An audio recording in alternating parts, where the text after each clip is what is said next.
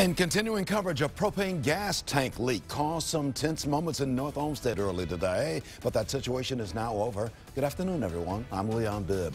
You know, we broke this story first on Good Morning Cleveland. Hazmat crews were called out to the scene on Lorain Road around 6 this morning. Some of the residents at the Williamsburg Square apartments were evacuated to the North Olmsted Rec Center while officials took care of the problem but someone noticed a odor of, of gas, in this case propane. Uh, a propane cylinder, 1,000 pound propane cylinder in the back of this nursery here was left, uh, a hose was left in the open position. So propane was pouring out of this, um, this cylinder.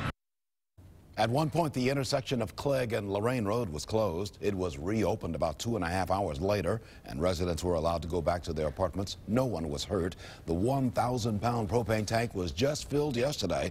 Firefighters said when they arrived, the gate surrounding the tank was unlocked, and the valve to the tank was open.